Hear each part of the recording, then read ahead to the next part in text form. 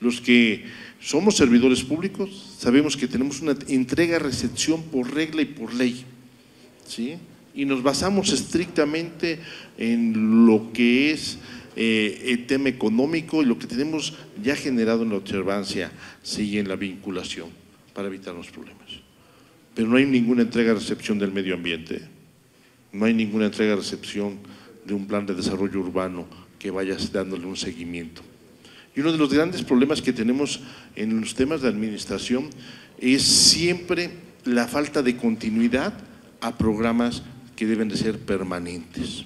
Y nos lleva a muchos temas de reglamentos que muchas veces no se dejan y que cuando llegamos, llegamos a buscar y perdemos mucho tiempo en estar tratando de encontrar y volviendo a reinventar la política pública. Por ello es tan importante esta gran reunión y la firma de este convenio. Yo creo que nos podemos sentir como grandes mexicanos que empezamos a dar un primer paso y que hoy, de la mano de Tlaxcala, encabezado por la gobernadora Lorena Cuellar, ¿sí? podemos tener un gran compromiso con las siguientes generaciones. Gobierno de Puebla. Hacer historia. Hacer futuro.